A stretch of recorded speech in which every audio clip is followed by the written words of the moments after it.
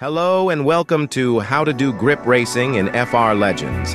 The key is to maintaining control of your car while navigating corners at high speeds without starting drift. 1.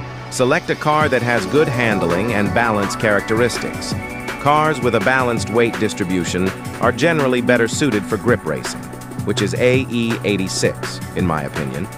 You can try different cars, but personally, this is the best for touge. 2 tune it to with good gear. Add some good dampers, some engine upgrades for more better lap times. Good tires. These are for grip racing, and these are for drifting. 3. Precise control of the throttle. Avoid sudden and aggressive acceleration, as this can lead to loss of grip in most unwanted turns. Gradually brake and tap-tap the throttle to maintain control. 4. Use the brakes while approaching corners. Brake smoothly, in straight line mostly, to avoid skidding. 5. Approach corners at a moderate speed to maintain grip. Focus on the racing line, the ideal path through the corner.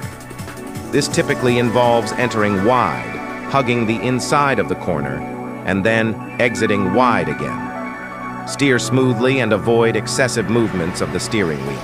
Smooth inputs help maintain traction. 6. Grip racing takes time to master. Try on different mod maps to improve your skills. Be patient and don't get discouraged by initial failures.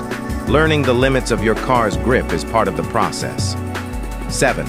Pay attention to the feedback from your car.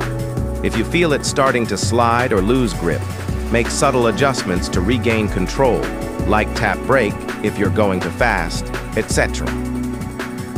8. Tsukuba Fruit Lines is the most huge map for grip racing and drifting. Akina is also good map for tight spaces. Nana Magari is also a great short map to start on. Remember that grip racing varies on the car's speed. If you too fast in corner, it will skid, but if you go too fast straight, it will not skid. It requires practice and a understanding of car's behavior. It's a skill that you can refine over time, so keep practicing to become a better grip racer. See you in the next vid. Until then, peace.